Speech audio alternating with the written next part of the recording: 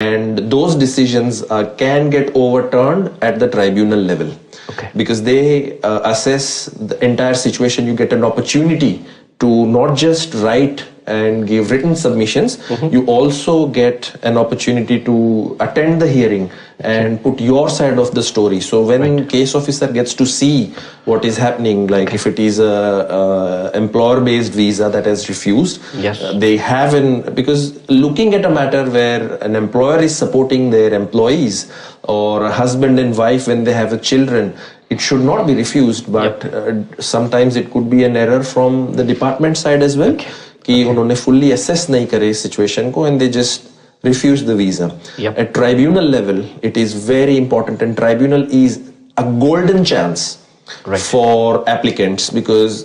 tribunal एक ऐसी जगह है जहाँ पर आप वो भी एविडेंस प्रोवाइड कर सकते हैं जो आपने डिपार्टमेंट में नहीं प्रोवाइड किया।